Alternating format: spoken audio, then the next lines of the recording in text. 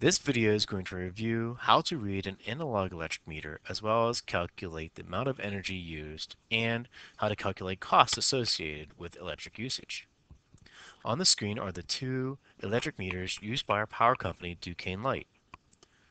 Duquesne Light is currently phasing out the analog meter, which is on the left with the dials, and replacing with the smart meter that you see here on the right hand side. If you have a, an analog meter, you're going to have to use a set, series of steps that might be different than those that have a digital meter. That's the purpose of this video. If you take a look at the electric meter, not only do you notice the dials, but there's also a special area on there that says multiply.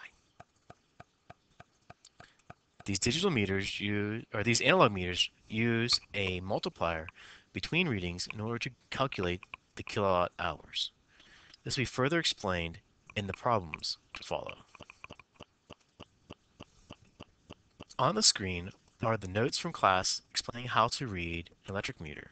The first step is to read all the dials from right to left and write the numbers down from right to left.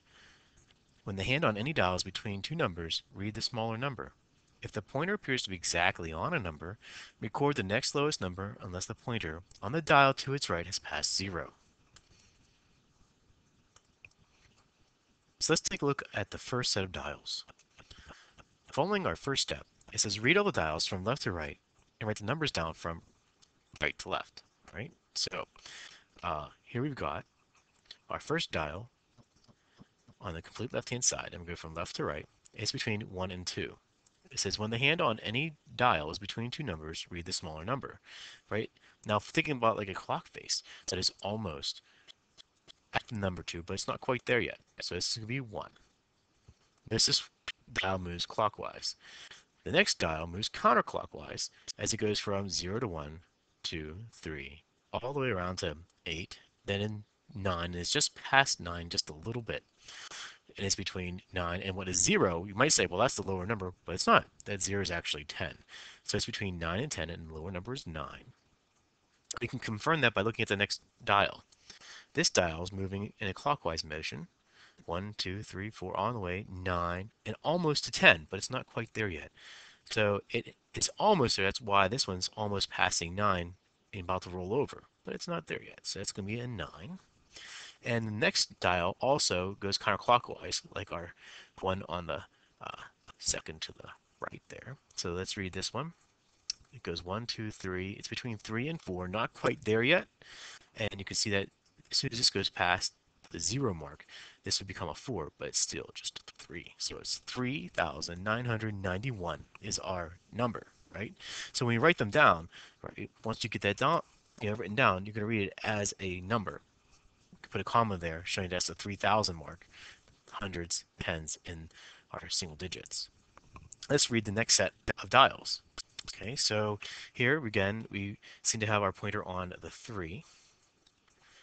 Right? This number is between 9 and 10. Didn't move very much. This one here is between 9 and 10. Didn't move very much as well. And then this one hasn't passed 4 yet. So the dials have not changed a whole lot. It's changed by uh, a number of 2 into single digits. Now let's take a look at our next set of numbers. Here I see that we're between the 5 and the 6, almost on the 6. So it makes us wonder, well, is it a 6 or is it a 5? Look, the next dial, right? And this dials between the 9 and the 10. Remember, it's not 9 and 0, it's 9 and 10. So uh, this one hasn't passed yet.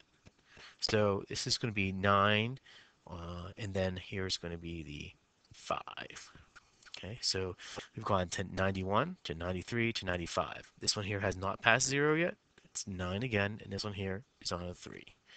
So you can see how our numbers have changed slowly over time. Now, if you're doing this for the activity, you have to do these number readings each individual day. And as you can see, as days go by, the meter has not changed very much. The single digit arrow, the indicator on the dial, moves very, very slowly. And if you sat there and watched the meter, you most likely wouldn't see it spin.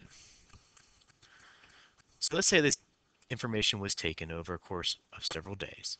And let's say that this is obviously reading one, reading two, and reading three.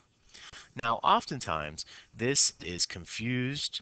Uh, a lot of students because they would say that this is three days passing, and that's not necessarily true because our top reading here is our initial reading. And 24 hours hasn't passed since that reading was taken, so this is our initial, our starting point. The next reading would have been taken 24 hours later, which would be our first day. Another 24 hours have passed when we take this reading. So in essence, three days haven't passed, but only two. So let's look at the energy usage.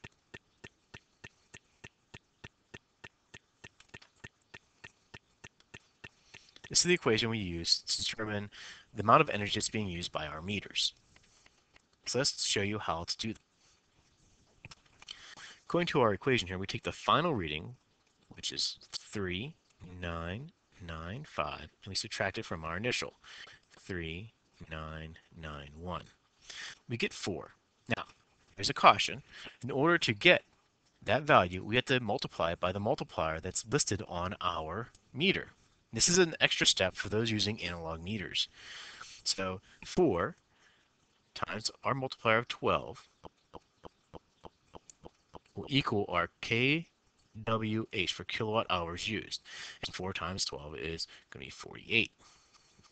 So our electrometer has indicated that we've used 48 kilowatt hours. The second part of our equation is to divide that by time.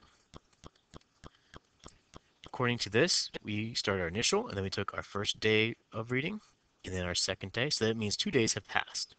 So it's 48 kilowatt hours in two days.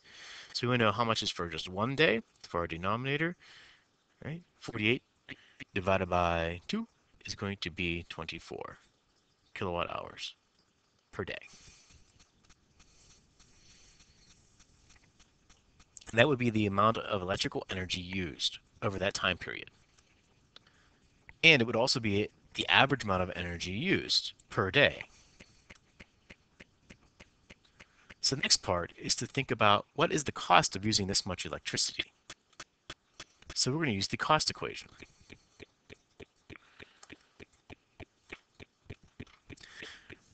The cost of electricity is going to be the amount of energy used times the cost per kilowatt hour known as the rate from the power company. So let's say the rate is 10 cents, which would be 10 cents per kilowatt hour used.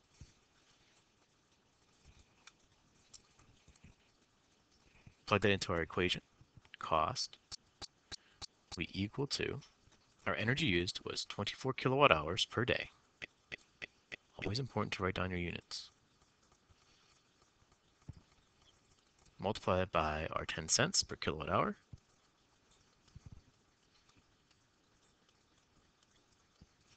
Kilowatt hours cancels out, giving us the cost per day, which is going to be $2.40 per day.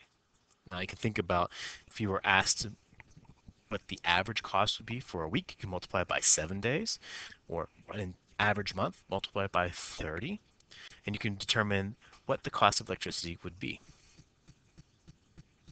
Again, these numbers are fictitious. Your actual usage may vary quite differently, especially when you start thinking about what is the rate that you use at home for the power company.